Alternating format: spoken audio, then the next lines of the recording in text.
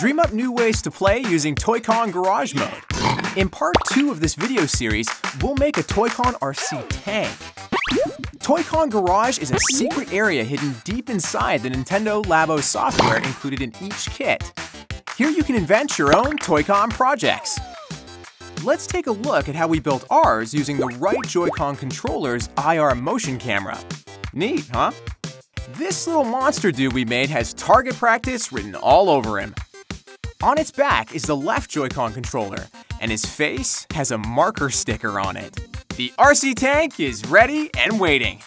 As for the quote-unquote cannon, it's a pen taped on top of the Toy-Con RC car. So that's the RC tank, but how does it move? If you press the SL button, the right Joy-Con controller vibrates. If you press the SR button, the left Joy-Con controller vibrates. Just connect these boxes and there you have it, an RC tank. Next, let's put the IR motion camera to good use. Clearly, the camera sees the world in black and white. If the monster's marker sticker gets caught in its sights, he'll shake with fear as the Joy-Con vibrates. Ooh. Here's how we set the nodes. Can you believe there's a node for having the marker sticker in view? Let the showdown begin! Steer the tank so that it's facing Mr. Monster Dude and, and, yes! Mission faceplant accomplished! How can we take our RC tank to the next level? Let's try adding another input node. Something with a button press would work. Then we'll connect that with this AND node. That way our old rival won't fall over until the camera sees the marker sticker and a button is pressed. Hmm, need some kind of sound effect. This time we'll add an output node that makes a sound.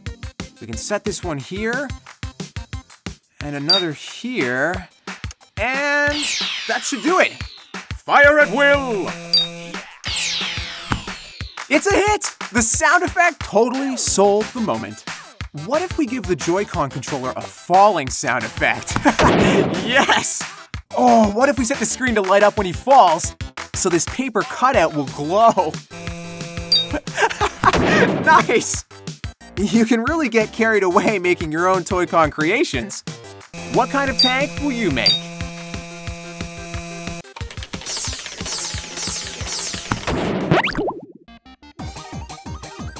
Remember the IR motion camera we showed you? You may know that the IR stands for infrared. Basically, infrared rays are a type of light that are invisible to the human eye. Spooky, I know. But the IR motion camera can see these rays and use them to make out shapes and movements. And because they're infrared rays, the camera can even see them in the dark.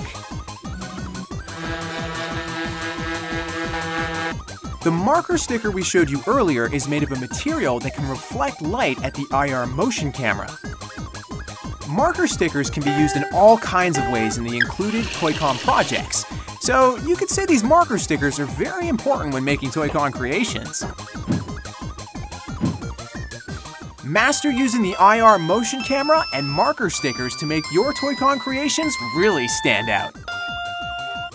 You may be able to find similar items like reflective tape or reflective sheets at certain stores. Next time, we'll bust out our sweet rubber band guitar. Look forward to our jam session, okay?